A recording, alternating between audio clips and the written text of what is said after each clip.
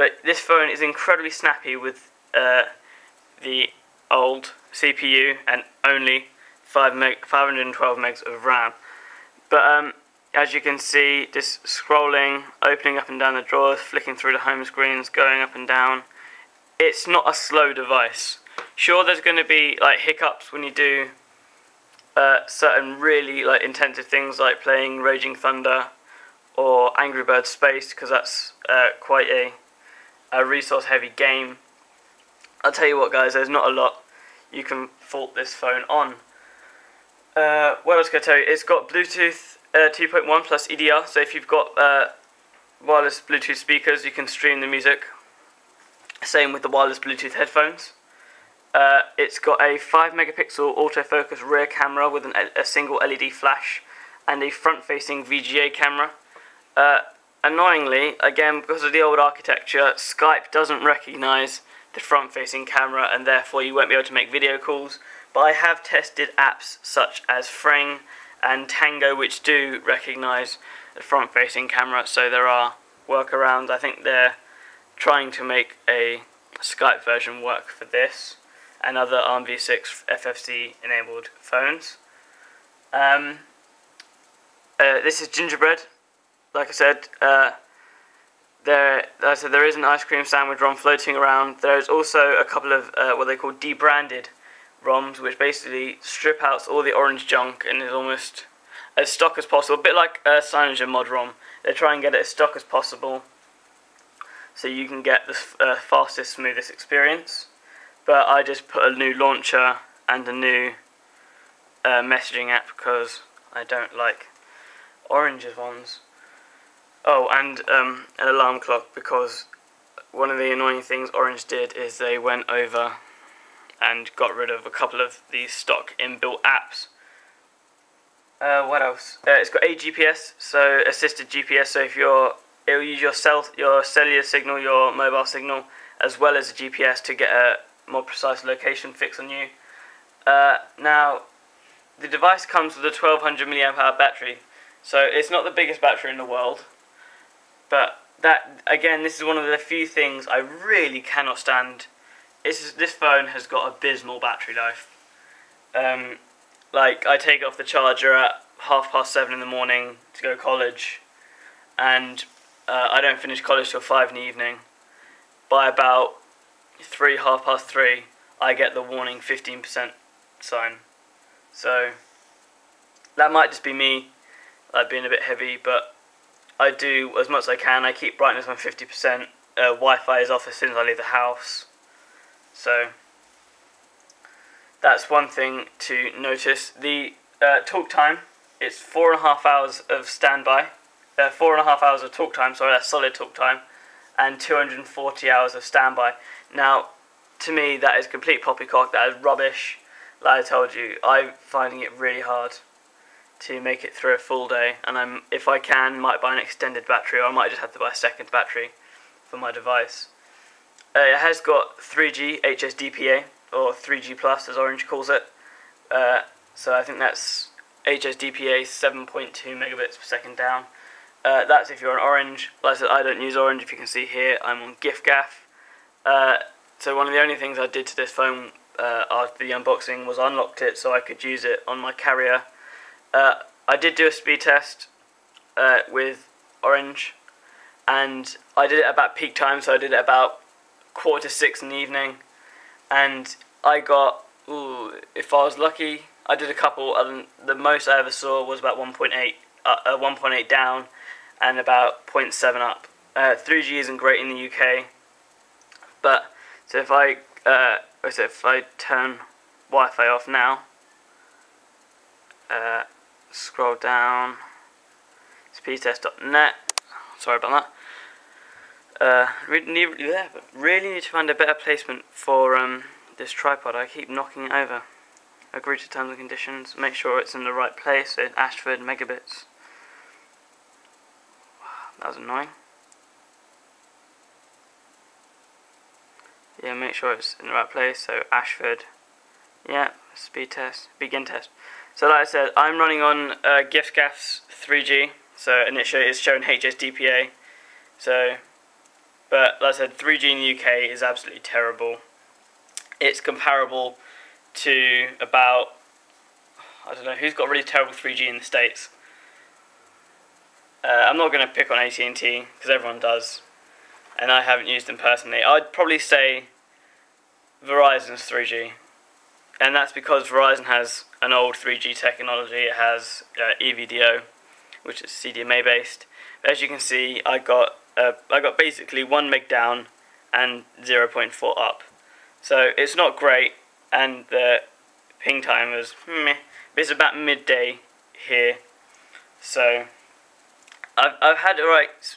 If I uh, open the browser, sorry, and uh, just navigate to my site, you can if I just sorry go here.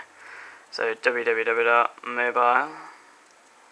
It'd help if I could actually spell mobile hyphen dom.co.uk and as you can see I'm not actually using the uh, standard gingerbread keyboard because I don't really like it so I downloaded the and downloaded I downloaded and paid for ice cream sandwich keyboard because uh, it's just so much better you can see like scrolling in the website scrolling in the browser sorry when it works oh whoops uh, scrolling in the site is really good if I go to the view web version and you can see roughly how fast uh, this loads up. I've cleared the history and the cache and everything, so you are seeing real-time uh, rendering.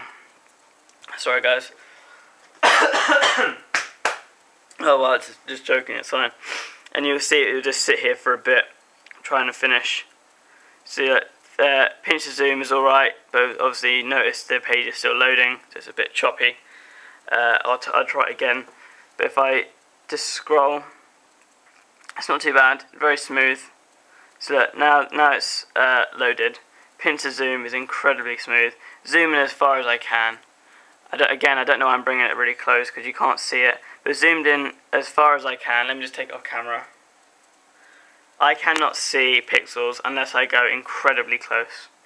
So, to me that's a good sign of approval, but there you go. So you see how fast uh, the UK's uh, or giffgaff's 3G is, which is technically O2's 3G. But um, what was I saying? Yeah, HSDPA and HSUPA. Uh, the bands for, or if you want to import this, uh, 2G it uses 900 megahertz, 1800 megahertz, and 1900 megahertz. So that's for 2G, and 3G is 900 megahertz, 1900, and 2100. So if I am correct, you should be able to use this on AT&T. Possibly T-Mobile, I'm not sure. I think T-Mobile use 1700 and 21 and 2100. I'm not sure at the moment. I don't take my word for it. Just read up on what your what band your carrier uses. Um, now, I'm not a massive fan of using uh, benchmarks, but uh, Quadrant Standard has been updated. It's a bit better now, even though this isn't a dual-core device. I'll run the benchmark for you. I'll skip to the end so you don't have to sit and wait. Alright guys, and now we're back with the result. Uh, now let's see what we get. Uh, sorry if I take this off screen. Alright, we got 619, which is at the bottom of the scale here. But uh, what did you expect? We're not rocking uh, dual 1.5 gigahertz CPUs with gigabytes of RAM. We are looking at a mid, uh, a low range, a low end phone here, which just happens to be really sweet. I mean, it's got, it's actually really good at video processing. You know, on uh, Quadrant, the bit where it goes to the corridors and it has the glowing lights. That was incredibly smooth, a lot smoother than on the San Francisco or the Monte Carlo. So I shall give it that. Um, Right, let me just give you some pros and cons about the Monte Car uh, the San Francisco 2 that I really, really like. Uh, it's really slender, it's really lightweight, which I said before. It's relatively snappy, like just going through home screens. There's almost like little to no lag. I mean, if you've never owned an Android phone before, as, I mean, as long as you're doing something like this and putting a custom launcher on it, and not using Orange, is terrible stuff.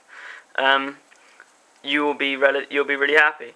Uh, so yeah, it's got a really crisp screen. I mean, I had, like I said earlier, the OLED um, Monte, uh, San Francisco, and I loved it. I mean, I really couldn't think of going back to TFTs. Mm, but colour reproduction is really good in this.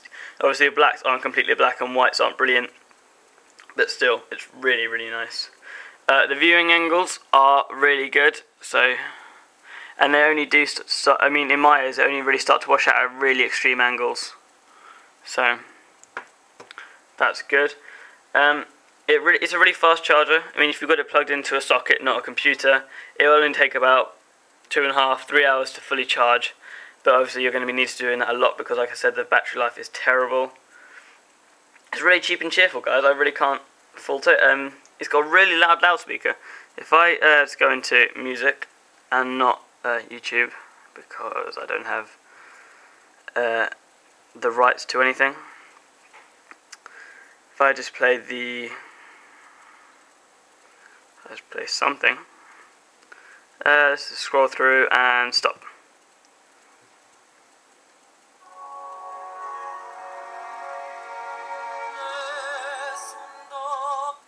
See? Extremely loud.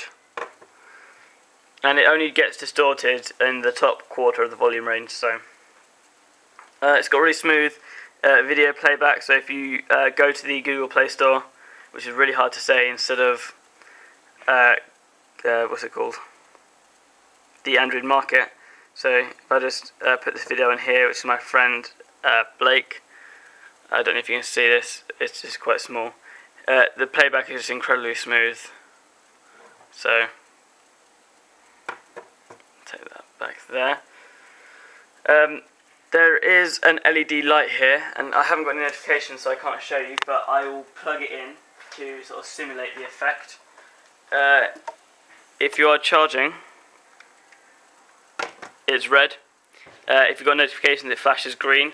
I was really hoping it was going to be like an RGB, like on the Galaxy Nexus, so you can set different colours for different notifications. But it really is red for charging, green for notifications, and obviously it, the red light goes green when it's fully charged. Um, now, like I said, onto some cons. Uh, the battery life is terrible. It's got really low internal memory. I mean, like you can see here, I've now got the low on space, uh, and I've got everything possible moved to the memory card. So, uh, and I'll say the top end, so from about here, we're halfway down the uh, time clock upwards. When it's plugged in or when I'm on a call, it gets extremely hot. That is one. That's one fault. It, it does get really hot, and I'm not sure if that's just the that's where um, the CPU is or something like that. It's just it just gets really hot. Uh, there's no camera button, and uh, that's just like me being like personal preference. Uh, I'm nowhere near a photographer, as you can tell by the quality of my videos or the photos I shoot on Google Plus.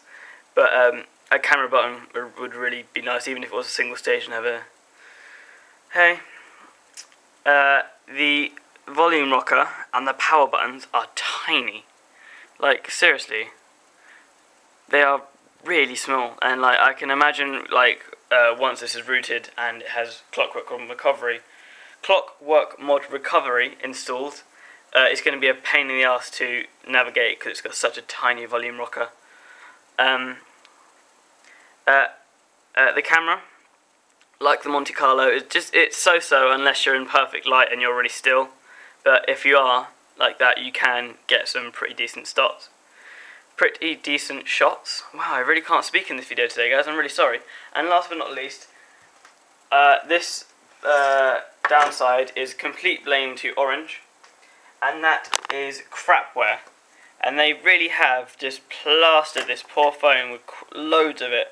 Uh, there I counted, there is 20 bits of crapware.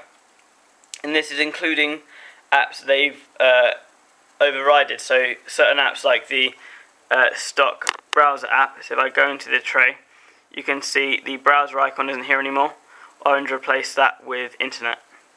So uh, let me just, I've written a list down because it's going to take a while to scroll through them all. I've written a list over here. So there is the alarm, so they replaced the stock lot—the clock app. There is App Shop, which is just their app shop.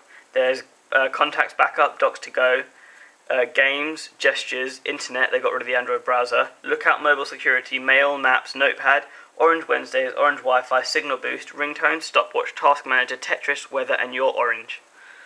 20 bits of useless crapware that don't need to be there. And obviously you can't uninstall them without rooting, and most people won't want to do that. But uh, if you do want to root it, you're probably not going to go and get root uninstaller. You're going to probably put a custom debranded ROM on there, which comes without it anyway. So uh, I will give this phone four out of five. I only think uh, uh, it loses a whole point purely based on battery life. Uh, I'm out a lot. When I'm at my house, it's fine. I can just have it on charge. That's fine. When I like, you can see the percentage was about 50% when we started this video, and it's now at 27. So I can't. Battery life is one of the few things that really annoys me. I mean, I paid, um, and but you really can enjoy this phone. This phone is cheap and cheerful, like I said before. It's uh, when I paid it, it was a hundred it was a hundred pounds with the twenty pound top up. I just checked on the site before this. It's now eighty pound with a ten pound top up. So you guys should just enjoy it. Get it while you can. It comes in black or white. I got it in black because I'm not a massive fan of white phones. They get dirty too easily. So, but uh, yeah, I give this thumbs up. Love this device. Uh, happily going to use it as my uh, primary device to for the unseen future. I mean, I, I, have no reason to get rid of it. So yeah, four out of five misses a star in battery life. Uh, you can get me on the website, which is www.mobile-dom.co.uk and I've been told by multiple people just typing in uh, just typing in mobile-dom.co.uk doesn't work. So you will have to type in www. That's a hosting issue. I shall get that sorted soon. Uh, you can get me on Twitter, which is twitter.com forward slash mobile underscore dom. You can circle me on G plus on Google Plus, which is gplus.to forward slash Domenico Lamberti. And uh, last but not least, I do personal consultations and repairs and modifications for certain phones. Uh, consultations for phones and tablets. So if you want new iPhone, I mean, I just had a consultation with my teacher at college. He didn't know whether to get the Galaxy Nexus or the 4S, and I helped him through his decision.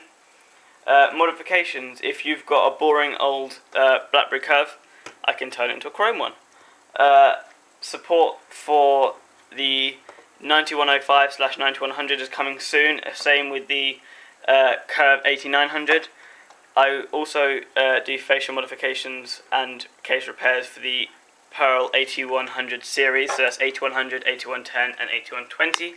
I do not currently support the 81, the 8220 flips because they are incredibly hard to take apart and repair. But the email address for any of those services is www. Uh, oh, sorry, no. The email address is domenico at mobile-dom.co.uk. Until next time, guys, thumbs up, comment, subscribe, tell your friends. It really helps me out. Uh, until next time, guys, peace.